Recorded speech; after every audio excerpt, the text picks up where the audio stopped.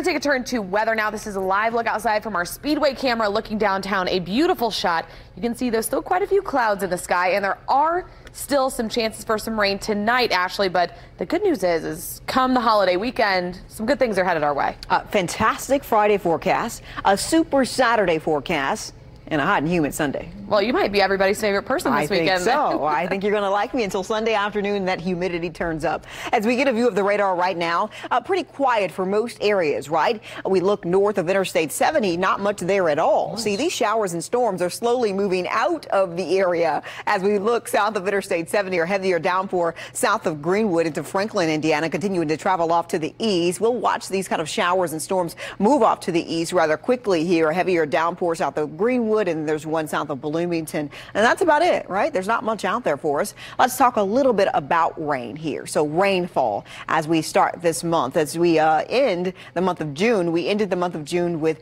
seven and a half inches of rain. We are about an inch and a half over on where we should be for this time of year. So um, that's good news, right? We had a wet June made up for a deficit that we were having, uh, that we had coming into the month of June. Uh, right now, 84 degrees. It is an 84 degree day. That's near normal. See, this is your typical summer day. It's a little cooler for areas to the north at only 76 for South Bend. As we go hour by hour and kind of look at this forecast here, the clouds that you see, well, they're breaking apart and overnight those clouds will dissipate. But for the next several hours, clouds staying with us. By 8 o'clock, we'll start to diminish any chance of rain. By 9, 10 o'clock, we're done with rain. We're just seeing the skies clear out, making way for that sunshine that I promised you for Friday.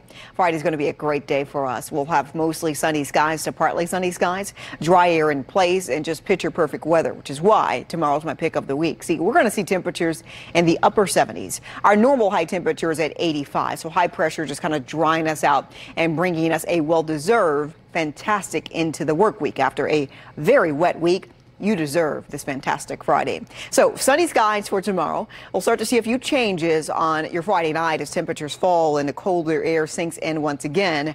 By Saturday, we'll see a slight warm up. Still mostly sunny to partly sunny. Very nice on Saturday. Temperatures below normal as normal is still set at around 85 for Saturday at 80 degrees. Now, if you have weekend plans and you're doing outdoor plans, maybe a family picnic, um, Saturday is a much better day than Sunday uh, because Sunday we start to turn everything up. We turn up the heat, the humidity, we see an increasing cloud cover, and there's a slight chance for an isolated shower pretty late on Sunday, but I think much of your day is dry. But look at the temperature difference. On Saturday, only around 79 to 80 degrees. On Sunday, mid to upper 80. So heat and humidity comes back. And as we take a look at the Chapman Heating and Cooling eight-day forecast, I even think we'll see 90 degree days back in the forecast for next week. Showers and thunderstorms possible on Tuesday night into about Friday morning. Temperatures will fall by the end of the week next week, but it's a slower process as we'll start the week very warm with that 90 degree heat. Tonight, hey, enjoy, but over the next several hours, keep in mind there's still a chance for a stray shower or storm bringing heavy downpours of rain, but we are not